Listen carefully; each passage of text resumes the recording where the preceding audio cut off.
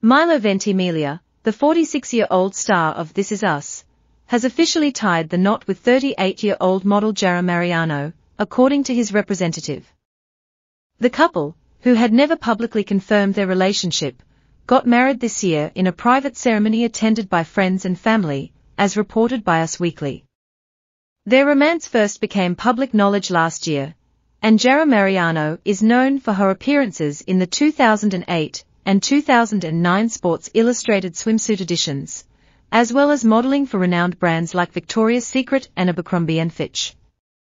Interestingly, fans of the TV show Gilmore Girls have noticed that Jarah shares the same last name, Mariano, as Milo Ventimiglia's character, Jess Mariano, on the series.